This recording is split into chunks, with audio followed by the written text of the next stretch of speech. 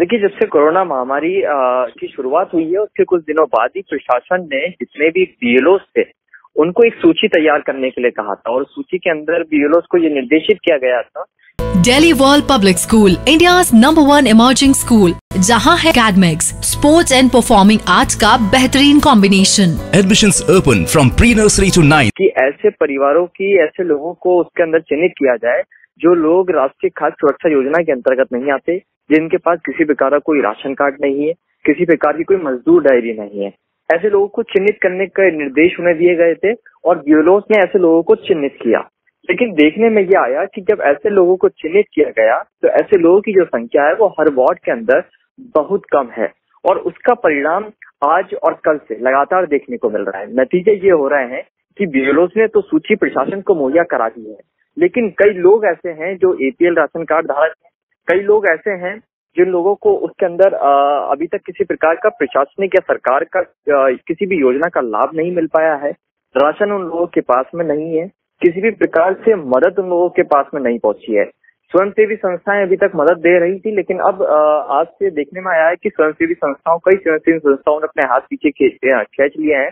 और नतीजा ये हो रहा है कि कई मजदूर परिवार ऐसे हैं, कई घर ऐसे हैं जो अब खुलकर सामने आ रहे हैं।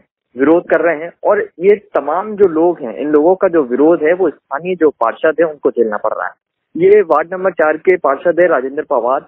इनके इलाके के अंदर कुछ लोगों ने विरोध दर्ज कराया है। हालाँकि कैमरे के ऊपर किसी भी शख्स ने अभी तक अपनी बात को नहीं रखा है, लेकिन off the record MPTV India को ये बताया है कि वार्ड चार के अंदर कई परिवार ऐसे हैं जिनको अभी तक किसी प्रकार से राशन की कोई सूखे राशन की कोई सुविधा उन्हें प्राप्त नहीं हुई, ना ही प्रशासन के ज़रिए और ना ही पार्षद के ज़रिए।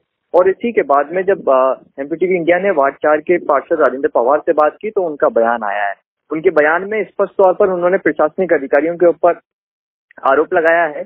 उन्होंने ये भी कहा है कि प्रशासनिक अधिकारियों को बिलों को दोबारा से दिशा निर्देश देने चाहिए और दोबारा से एक बार फिर अजमेर शहर के कई इलाकों के, इलाकों में जाकर बीएलओ को काम करना चाहिए और वहाँ से एक, वापस से एक ऐसी सूची तैयार करनी चाहिए जिसके अंदर तमाम वो लोगों को शामिल किया जाए जिन लोगों के घर में इस वक्त के राशन की कमी है। उसके साथ साथ पार्षद ने अपनी सीमाओं का भी ज़िक्र किया है कि अपने स्तर पर वो कोशिश कर रहे हैं। लेकिन फिर भी सीमाएँ हर भामाशाह, हर जन पार्षद की और स्वयंसेवी संस्थाओं की है। कई जगह पर वो नहीं भी पहुँच पाते हैं। तो उसके लिए उन्होंने एमपीटीवी इंडिया के ज़रिए निवेदन किया है अपने वार्ड वासियों से कि किसी को भी अगर घर में राशन की कमी लगती है तो जो वार्ड पार्षद है, उन्होंने अपना नंबर भी साझा किया है एमपीटीवी इंडिया के माध्यम से। उस नंबर के ऊपर कॉल कर कर सूखे राशन की सामग्री मंगा सकते हैं। इस कोरोना की महामारी के समय जब समय है कि सबको कंधे से कंधा मिला करके हर व्यक्ति की समस्या का समाधान करना चाहिए। ऐसे समय जनप्रतिनिधियों का बहुत बड़ा रोल होता है। उसमें पार्षद हो विधायक हो पंचायत समिति का सदस्य हो। लेकिन लगता है कि जिला प्रशासन इस समय संवेदनहीन बन करके इस प्रकार से व्यवहार कर रहा है। कल अचानक इन्होंने अक्षय पात्र से भोजन बंद कर दिए।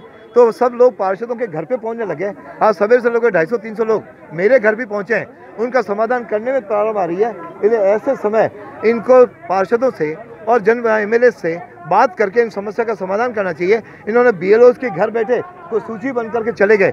उससे कोई समस्या का समाधान होना नहीं है। अतः और कहते हैं पाँच महिलाओं को गिरफ़्तार करके ले गए।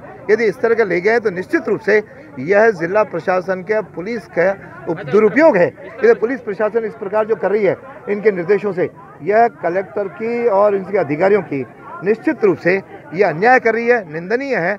ऐसे समय इस प्रकार की हरकतें नहीं करनी चाहिए। आपसे कलेक्टर साहब ने कुछ बात करी? हाँ मेरी कलेक्टर साहब से अभी ग्यारह एक बजे बात हुई थी तो मैंने तीन समस्याएँ बताई थी।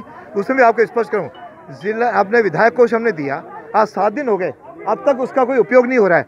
उस उपयोग के समय मैंने जब इनको कहा तो इन्होंने कल निगम को एजेंसी बनाया और निगम ने इस सारी बीस कंडीशन लगा दिया एक एक व्यक्ति के लिए जिसमें आप किसी को देने नहीं चाहते हो और उसके भाव भी ऐसे हैं जो मार्केट रेट से लगभग सवा गुना डेढ़ गुना है। ये इसमें भी जब कह रहे हैं रिटेल में आप इस रेट से लो तो क्या प्रशासन उससे दुगनी या डेढ़ गुनी रेट लेकर के क्या जनता का पैसा लूटना चाह रहा है? इसीलिए सस्ता समय सही चीज़ जनप्रतिनिधि का विधायक कोष है हम सूची देंगे। हमारे अनुसार खरीदारी करो सात दिन आप यदि कर दोगे तो उससे कोई समस्या का समाधान थोड़ी होगा। मतलब मैं इस मामले में सीएम से बात करूँगा और इनकी शिकायत करके इन लोगों की समस्याओं का समाधान करूँगा। मतलब इसको बंद कर दिया गया है। उसके बंद करने से पब्लिक सड़क पे आ गई, पार्षदों के घर आ गई और घर पर भीड़ लगने लग गई। इस बात को जब पार्षदों ने जिला प्रशासन को रखना चाहा तो कलेक्टर ने उनसे बात नहीं करी। उनका फ़ोन नहीं उठाया और एक दूसरे एक दूसरे को टालते रहे। और उस कारण से यह स्थिति बनी है कि आज सारे पार्षद यहाँ एकत्रित हुए।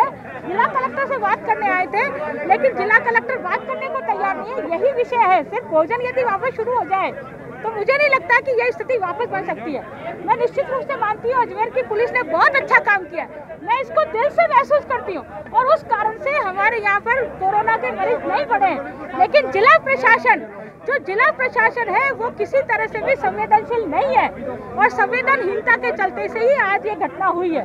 तो इसलिए जिला प्रशासन संवेदनशील बने और उन गरीब लोगों को भोजन उपलब्ध कराया जाए, जिनको भोजन नहीं मिल रहा है। यही बात करने के लिए आज हम सब लोग यहाँ आए हैं।